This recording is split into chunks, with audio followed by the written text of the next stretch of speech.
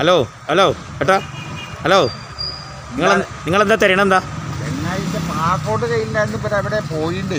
എന്ത് എന്ത്? പാസ്പോർട്ടേ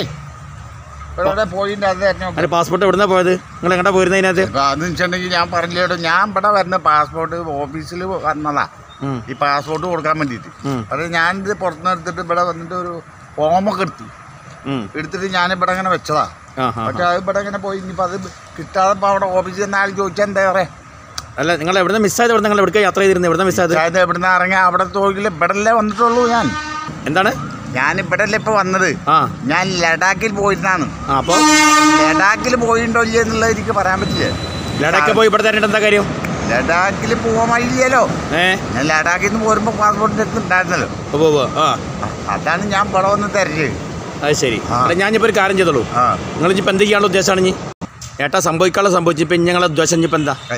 ഒന്നാമത് ചെങ്ങായി ഞാൻ ഇനി ഒരു ഒറ്റ ഐഡിയ കണ്ടിട്ടുണ്ട്. അതെന്താ ഐഡിയ എന്താ? ഈ പാസ്പോർട്ട് ഒന്നുള്ളതുകൊണ്ട് ഇത് ഇങ്ങനെ പോയി പോയി പോയി കൊണ്ട് ഇന്ന് വലിയ പ്രശ്നമായി. ഏതായാലും ഈ പാസ്പോർട്ട് ഓഫീസിൽ പോയിട്ട് ഒരു പത്ത് പതിനഞ്ചെണ്ണം എടുത്തു വെക്കാം എന്നുള്ളൊരു ഉദ്ദേശത്തിലാണ് ഞാൻ എന്തേ? പതിനഞ്ചെണ്ണ.